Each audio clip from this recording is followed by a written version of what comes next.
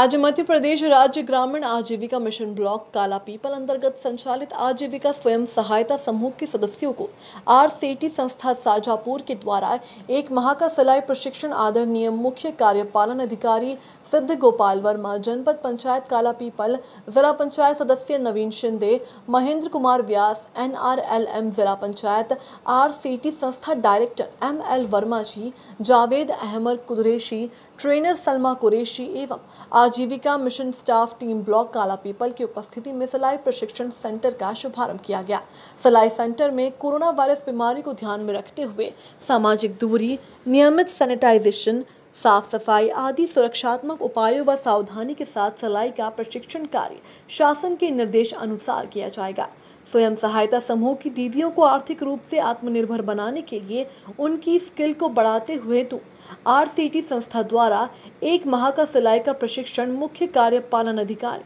जनपद पंचायत काला पीपल व मध्य प्रदेश राज्य ग्रामीण आजीविका मिशन जिला पंचायत शाजापुर के मार्गदर्शन में किया जा रहा है।